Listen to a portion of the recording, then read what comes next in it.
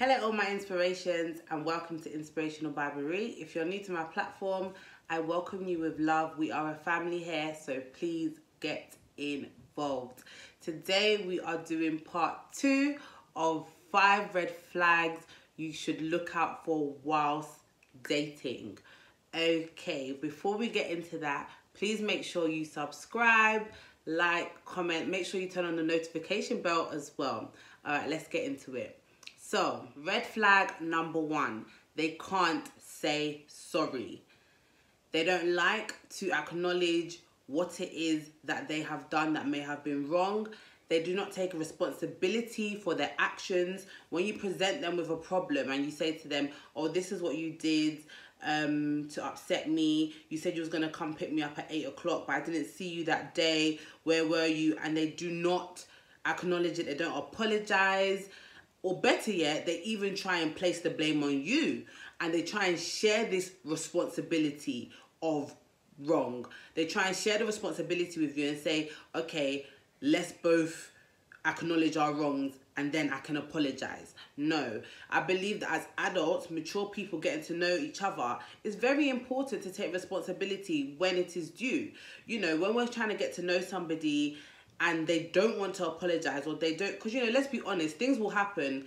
Nothing is perfect in life. And sometimes you may see some things or you know see some certain characteristics characteristics or you're in a certain situation. And how we deal with it as people is very important. So if you know that you were expecting he or she to apologize and then they turn around and flip it on you and make it look like you're the bad person or that you know, you have to take some blame for it. That is a big red flag. I believe that being with a person or getting to know a person that is willing to take responsibility for their actions and that is willing to say, hold on one minute, maybe I could have done it better this time or this way or you know reflecting on their actions that is a big big sign of growth i feel. And i think it's commendable when people are actually like that. So when you see a person that you're dating and you're trying to get to know and they don't want to apologize they want to flip the flip the blame on you share the blame with you all these type of things best believe that this is that person a part of that person's character. And when there are bigger dealings or whatever it is that maybe you're gonna see further on you know down the line this is how they're going to probably handle it so be very aware of people that do not want to say they are sorry okay red flag number two they put you down and make you feel inferior. Now, when you say something to them or you bring up a conversation, they mock you when you're talking. They roll their eyes. They have an attitude about your suggestions, about your thoughts. You know, they always try and do something that really they're not showing your intelligence or they're not trying to highlight, should I say, what it is that you're bringing to the table they dismiss it, they do not value it. But really, I believe that we're supposed to be with people that when we're getting to know them, they highlight your intelligence, they highlight your values, or they're even interested. Instead of being with someone that's going to be knocking you down and laughing at you when you're talking, all manner of just nonsense, yeah, we can't really be putting up with that because at the end of the day, we are special and we are important people. So if we're dating someone and everything they say is, uh, you sound silly, what did you say? Oh, that doesn't make sense. You know, all these things that you know deep down inside it doesn't make you feel good. Do you understand? You just know that it's not a comfortable situation for you. And better yet, when you have an idea or, or a thought in future, you will shy away from saying it. And that is not a healthy situation to be in because you should feel free when you're getting to know someone. You should feel like yourself. You should feel like when you have an idea you want to share it with this person or you know with the your partner whoever they are but definitely I just feel like when people try and put you down that is a big big big red flag because you need to be yourself at all times honestly so red flag number 3 they are controlling. Where's the password for your phone? Where's the where's your e password for your email address, your Facebook, your Twitter account? social media. They want to be all up in your business. Let me see your phone. Who just texted you? Oh, I'm going to a party next week. When you're at the party, they're belling off your line like 10 times, 15 times. You know, these can be elements of control. Now, it can be hard to read this sometimes because definitely when you are getting to know someone, you want them to be interested, you know, in your whereabouts, what you're doing, what you're up to, how your day is. So that is fine. But I'm talking about that fine line that at the end of the day, there is that level of control. And when there's control, there there is definitely going to be some element of power there as well. So you don't want them to kind of own you or possess you because you know, it's not nice when you are your own person or your own being and it's like they're invading your privacy. Do you understand? Like down the line this can also end up to some trust issues as well but that's another red flag but yeah so you don't want to be in that kind of situation whereby they're always on your case and they're trying to control your every move they're trying to keep tabs on you unhealthy tabs as well do you understand because i remember there was a story and there was a particular guy that was I guess talking to somebody and he got into her emails, right? And he was trying to tell, basically saying that he's predicting everything that she had in her inbox, yeah? So he would say to her, oh yeah, by the way, I know that you have a meeting on the 20-something or the something. And she was thinking, how do you know all these things? Do you understand? Like, he was keeping tabs on her and her movements. So let's be careful as well who we give our passwords to. I don't I don't really know like I feel like we're all mature and maybe we are sometimes we can be the best judgment of our situations but sometimes we're not. So we have to be careful as well with those type of things. I think it well yeah, I don't know if it it could be a certain level of a relationship where you start doing that, but I don't know if it's necessary or not. I don't really think it is, but yeah, discussion for another day. All right.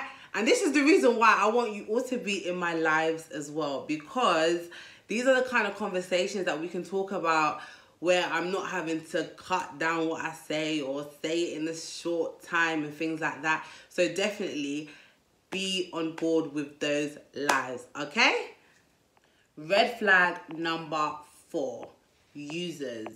Now, I feel like when it comes to dating somebody and getting to know the person, you know, we have to look at the reason why that you know why they want to be with us or what it is that they see in us that they like you know these are very important things because sometimes people can be out in these streets and they just want to use you they want to get to know you because of what you have or what you possess okay for example financial users right they could be the people that will be like, oh, could you please borrow me money? Could you please lend me money? Do you understand what I'm saying?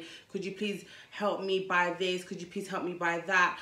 They're always just taking, taking, taking, taking, taking, sucking you dry financially. Do you understand? Could you could you please pay my rent? You know, all these things, okay? So when we get to know someone, try and establish what they see in you, why they want to be with you. Also, people could be physically using you. Let's say, for example, they just want to sleep with you. I'm talking about men or women. You know, they want to just sleep with you. They only want to use you where, like booty calls. They only want to sleep with you when, you know, they they need to do that or they, that's what they want to satisfy themselves with. Do you understand? They just want to use you physically. As women, I believe that we should always respect ourselves, always value ourselves, and definitely when we see the sign in a man, out the door. Okay, same thing for the fellas. Do you understand? When you want to get to know someone, I believe I'm talking to people that you don't want to get to know serious um, individuals out there, maybe with a long term goal. These are the signs that we don't have any time for. When a guy just calling you inappropriate hours, or woman's calling you inappropriate hours, don't entertain that. Okay. Also, emotional abusers. They are just sucking you dry, right? They're just trying to drain you. They only want to call you or talk to you when they have, let's say, something wrong has happened.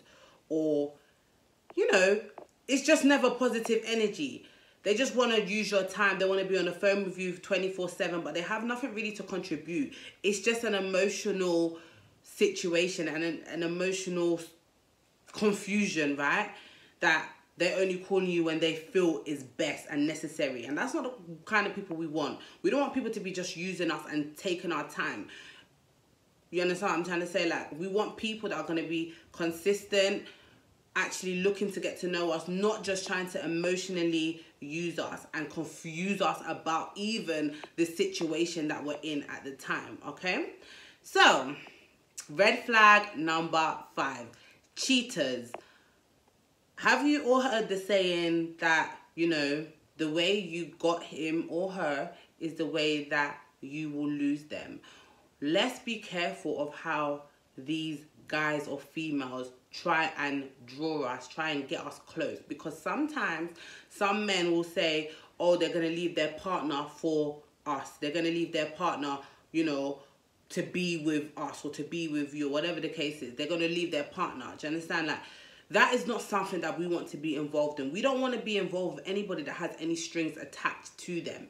You know, I know that even in some situations, people may say that, you know, they're dating someone who is separated, which I understand can happen. And I don't want to generalize, you know, a whole topic because we don't know someone's situation. But even in that situation, my best advice is let the um, divorce finalize before you get into that because there have been cases whereby some people may have dated a guy that's separated but he's had different thoughts you know or maybe he's ended up going back with his wife and or his or their husband, yeah.